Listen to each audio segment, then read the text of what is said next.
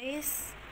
Chicken breast, then yogurt, tapos bigas na nakababad, tapos ginger and ginger and garlic. Ayan guys. So ngayon magluluto ako ng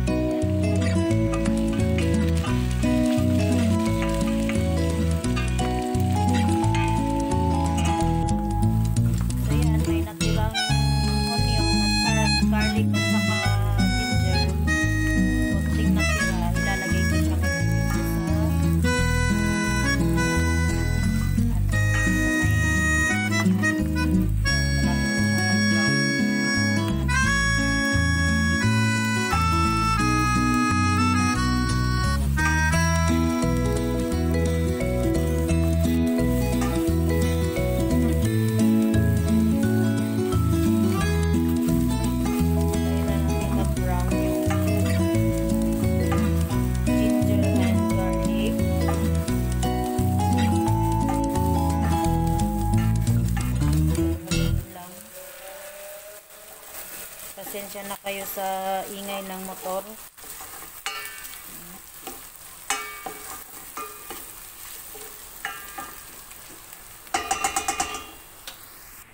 So, yan. Coriander. Coriander leaves.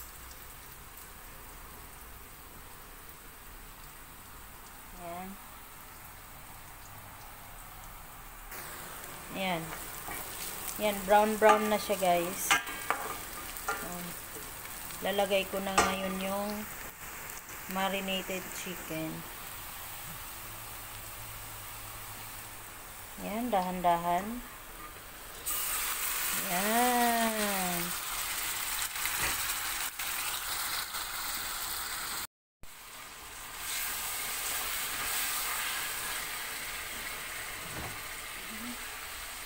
Halo-haloin natin ang marinated chicken.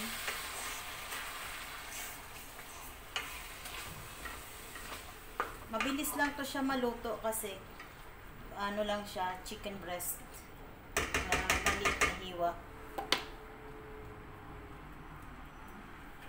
Tapos, ito naman, since may natira pa siya, ayan guys,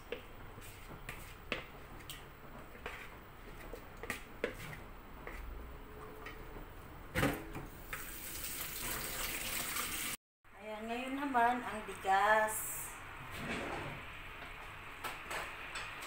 Bigas naman ang ilagay ko. Ayan. Ano na natin yung bigas. Hanggang sa mag, ano siya guys, mag half cook.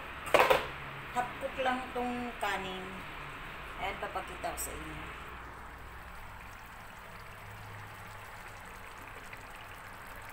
Yan yung kanin. Ayan, nilagyan ko siyang ghee. Ghee ang nilagay ko dyan guys, hindi siya ve vegetable oil. Ghee. Ayan guys. Hindi ko lang siya nilagyan ng water kasi nag mag-ano naman yung ano yung yogurt. Mag magsuso magano siya magtutubig. So ayan. Low fire. Guys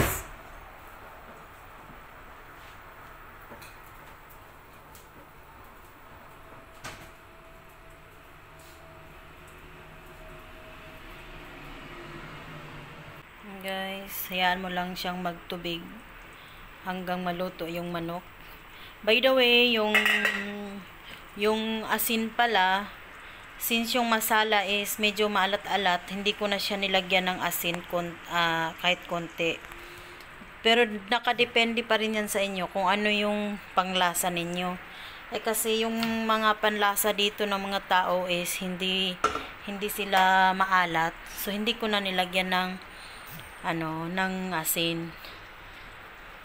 Wala rin kaming nilagay na mga kahit ano-anong mga pampalasa gaya ng betchin or nor cubes. Ayan lang guys. Hayaan lang natin siyang mag maluto. Yan. Ito hin ganito yung aking way of how to cook biryani. Yan. Yan guys. July's biryani. Yan, takpan ko siya hanggang sa maluto. Ayan guys. Antayin natin ang kanin. Ang bigas. Ang ating finished product. Sinala ko na siya. Niluto ko lang siyang half cook. Kaya lang guys, since kasi nakababad siya sa tubig kanina, mabilis lang siyang maluto. Isang kulo lang, luto na agad. Like half na, hindi luto half cook siya. Yan pangit naman kasi pagka sobrang luto yung overcook. Parang ano siya lata. So ayan abangan ng another another ano another step Ayan, kumukulo ng kumukulo na ang ating chicken. Malapit na siyang maluto. See guys. Ayan, may tubig siya kasi nga, gawa nga nung sa yogurt. Hindi ko yan nilagyan ng tubig guys or any sauce. Yun lang talaga yung ano, yung sa yogurt lang. Masarap kasi pag minarinate mo siya sa yogurt. Yan, malapit na maluto.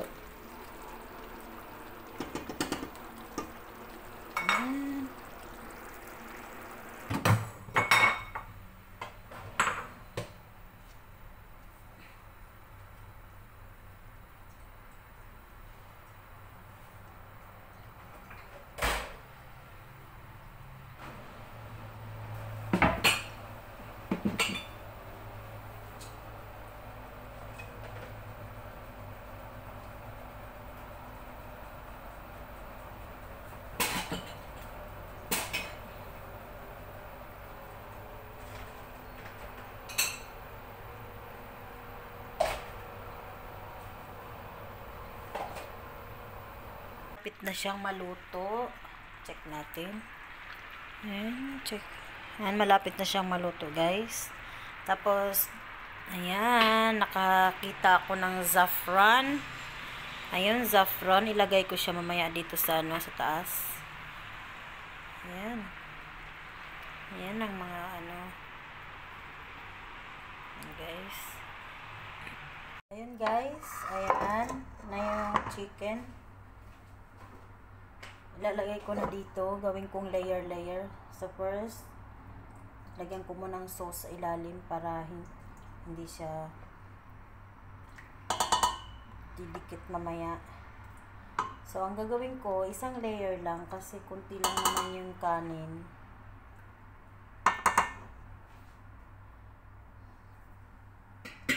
Ayan guys.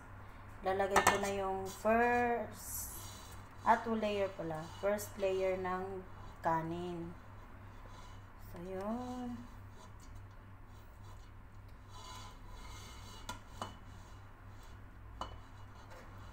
Yes, ito yung aking way. Para-paraan lang yan guys kung paano mo gawin. Yan, lagay ko na yung chicken. Isang layer lang talaga. Yun.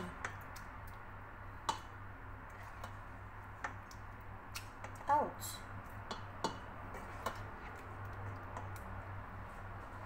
Ayan. Ito na yung aking simple biryani. Chicken biryani.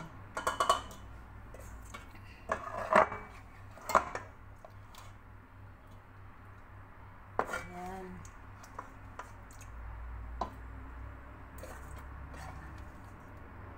Lagay ko na lahat.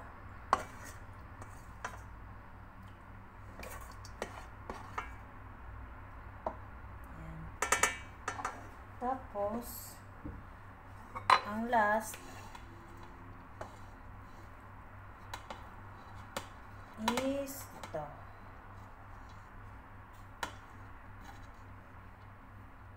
Wait, di ko Kalimutan kong ilagay yung coriander.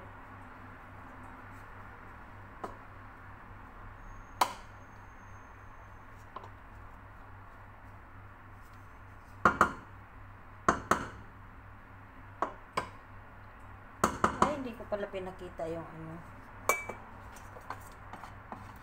Ibabaw ko na lang siya.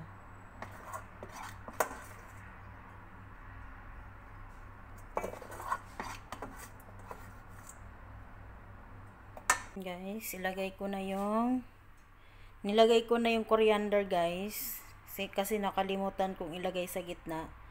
So, ngayon naman, lagyan ko ng saffron, pang payelo ng kanin. Yan. Yan, guys. So, yun. Tapos na. Ito na yung aking unang gawang biryani dito sa bahay na ito. Ayun. Ilalagay ko na sa apoy hanggang sa maluto yung kanin.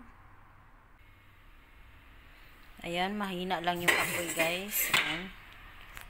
Ay, lobat na. Ganyan lang kaba kahina ang apoy. So, ayun na. Ayun. Ayan, hanggang sa maluto yung kanin. So, ngayon naman, ang gagawin ko is mag Hihiwa ako ng pang salad as usual. Pero siyempre guys, habang inaantay yung ating biryaning maluto, maglalaba ako. Washing or cooking while or washing while cooking. Ganon. Ganon ang buhay OFW, buhay kadama. Yan, maglalaba tayo. Laba-laba.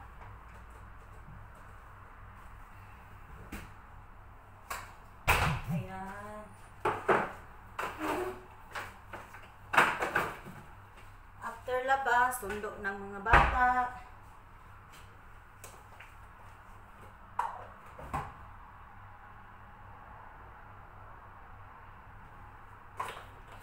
Siyempre, ganon talaga ang buhay.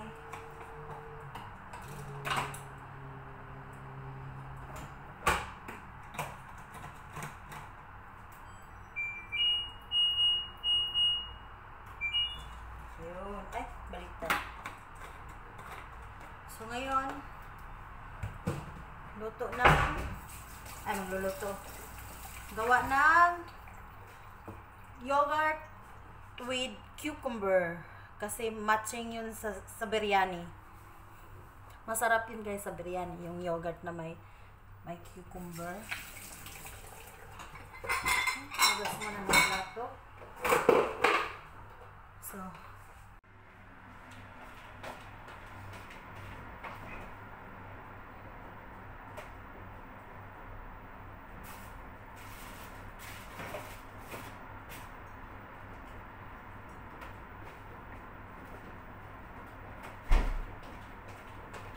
So, ayun guys, gagawa ako ng yogurt.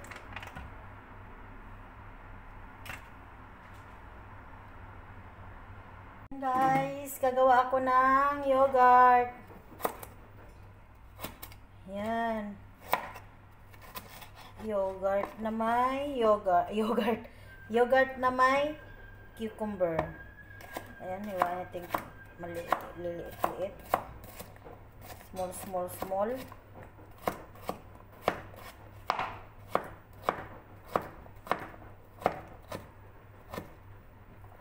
Ayan. Kunti, kunti lang.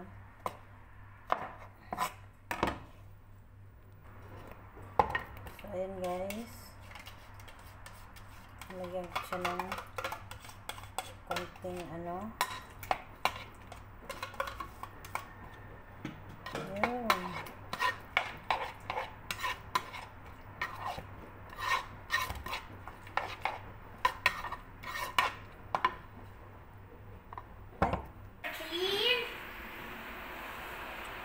So, ayan guys. Ayan na ang aking fries. And that's how we live it. Don't be mad at the system, it's simply how we've existed. I hear a lot of people talking like they politicians and choose to be.